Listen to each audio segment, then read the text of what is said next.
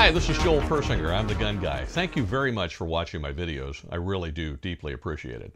I wanted to talk with you in this video about why I think you should be carrying a handheld light if you're ever carrying a gun. Frankly, I think you should be carrying a handheld light all the time, whether you have a gun or not. Now, this is a light that I'm going to tell you why I like it. I got it from Optics Planet here in a few minutes. It's very, very inexpensive and very terrific light, and I've been carrying it for about three months. And this is the light that I've been carrying for years, which is expensive. This one is inexpensive. it's like under 15 bucks. This one's closer to 100. And sometimes you can get them, you know, they're $200 or $80 or $90 or whatever. And you can see I've worn this one out uh, because I've just worn the little rubber thing off the end. I've carried it for so many years. Now, I like the light a lot, but it's nice to have an inexpensive option that will still get the job done. So I'll talk about this one in a minute. But before I do, let me discuss why I think you should always have a handheld light. And this is what I tell my students all the time. You may have a weapons mounted light. You may carry a firearm with the light on the on the actual gun, which is great. Those are great too, and I'm not dispelling them in any way, but you can't use those in some instances when you can use this. For example, you have your weapons mounted light, you're walking out of the mall to go out into the parking lot, you drop your keys. You can't draw your weapon to go searching around for your keys, but you can pull out a handheld light to do that. Or in any other situation where you wouldn't want the weapon, but you would want the light, you cannot draw the weapon to look for things. You can draw the weapon to use the weapon, but not to just use the light. So that leaves you without a light unless you have a handheld light with you. Now, I carry a handheld light most of the time, and as I said, I generally carry this one. The last couple months, I've been carrying this one just to try it out. And I carry it because most of the time, I carry a little snubby revolver, and there's no place to attach a light. So this is my weapons light as well as my handheld light. Now, if you're, if you're in that situation, there are many ways to use a handheld light in the dark. And sometimes it can be very, very dark. In another video, I'll talk about a blinding drill and you'll learn very quickly why you should always have a light when you're shooting. But there's not time in this video, so I'll cover that one in a, in a video sometime in the future. There's a whole bunch of different methods to use these. Uh, you've probably seen a lot of them. One is called the Harries. That's where you have the light in one hand and your firearm in the other, and you just marry the backs of both hands together like that. And so here's your gun, and here's your light, and you line it up, and that's how you would shoot, is just like that. You've seen that on television probably a million times. That's called the Harries. You can call it whatever you want, but that's basically what that's called. Now, there's other ways to do it. There's uh, the sword grip. That's where you would grip the, the light like you would hold a sword, and I'll, I'll do it reverse hands here so that you can see what I'm talking about. And you've got the light held this way, the light is on, and you would have your gun and your light, and you would just marry your thumbs together next to each other and give your, your shooting hand a little bit of support by pressing up against it, but essentially you're trying to line the light up against a gun. And that's another way to use a handheld light while shooting.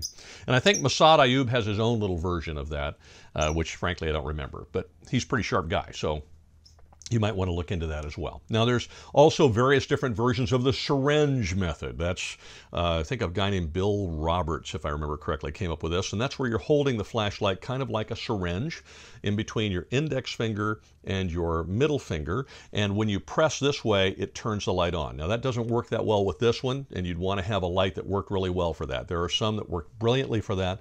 This one doesn't work that well that way. You would essentially then have your gun hand and your shooting, your shooting hand and your support hand with the light, and you'd stick them together again like that. Give yourself a little support, and that lines the flashlight up with your gun. Now that's the syringe method is what I've heard it called many times. I've seen different instructors do it differently. Most of them I've seen do it this way. Some of them I've seen teach it between your middle finger and your ring finger, which always struck me as being kind of odd, but I've seen it. And I've also seen a couple of instructors teach it between your ring finger and your pinky, and I asked why, and the argument was that that way you could use your top two or three fingers to get a decent grip on your firearm and shoot this way. I actually went out to the range and tried that, and once you get it in position, it works pretty well, but it's kind of awkward getting there. But that's a different version of the syringe method. Now there's also the neck index. That's where you hold the light up here and you stick the gun out in front of you and you shoot. Anywhere you look is where the flashlight is going to shine. So that's indexed up against your neck. And I think I probably would, uh, would be terribly remiss, I'm trying to think of any more, if I didn't mention the FBI method. And that's where the flashlight is out to the side of you and the gun is out in front. Now, the theory there is that since the flashlight is over here, that uh, if the bad guy can't see you, but they can see the shining light, they're going to shoot at the light, and it potentially will miss you because the light is over there. The worst that can happen is you're going to get hit in the hand or the arm or something, but it's not going to hit you. Now, when you think about it, all those other ways of holding a light, the neck index, the Harries, the uh, sword grip, the syringe, they all put the light right in front of you. And so if somebody's going to shoot at the light, you happen to be standing right behind it that's probably no bueno. Now, my dad, who was a deputy sheriff for many years, used to teach me to start out, if I was searching for somebody, with the FBI method, because that way the light was away from me in case I took a round or two.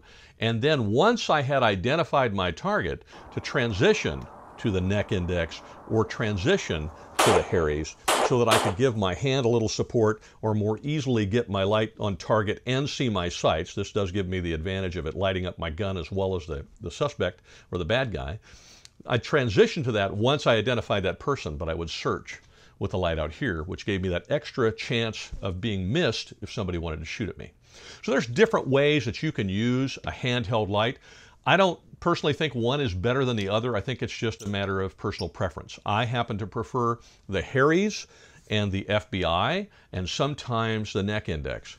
I don't the syringe doesn't work that well for me, and the uh, the sword grip doesn't work that well for me. But I've met other people that love those and don't like the ones I like. As I said, it's not a good or bad. It's a what works best for you. But now you know what they are. Now, as far as this little light is concerned, I really like this little light for a few reasons. One, as I said, it's very inexpensive, but it's also very strong.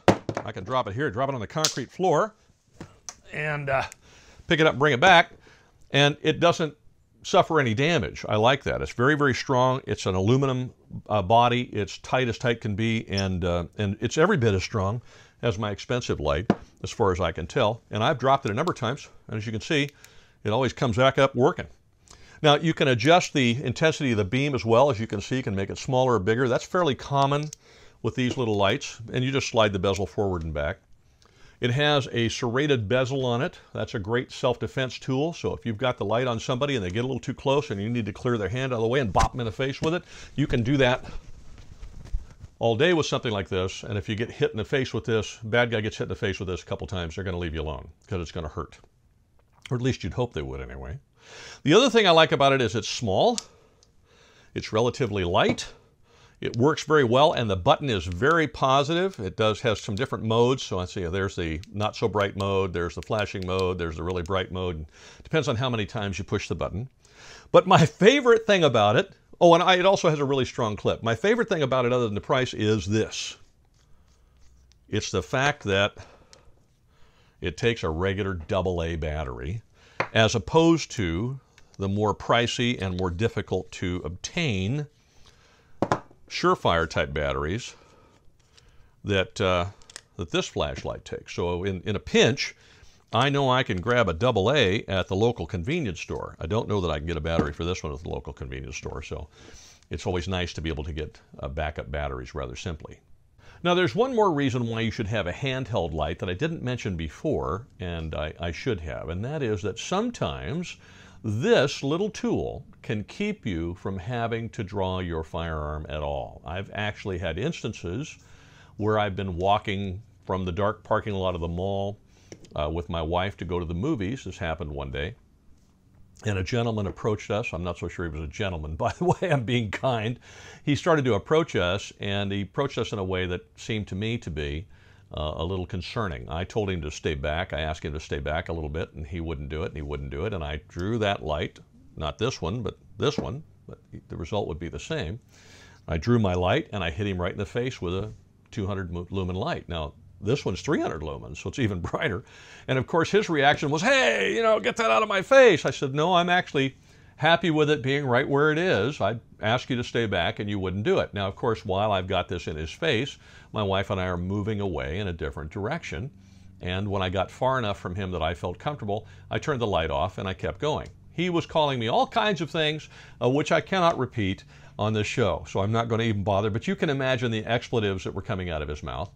But what you learn if you ever do a blinding drill is that when you're hit with a bright light like that, it overwhelms your night vision. And so for a short period of time, 10, 12 seconds, you just can't see a thing. I mean, you're blind as a bat. And that was the case with him. He was blind as a bat. I don't know for how long, but I know within about seven or eight seconds, we were gone. By the time he could see again, we were nowhere to be found and had already stood in line and gotten our tickets probably and gone in the movie before he realized where we were. In fact, I would say probably never realized where we were.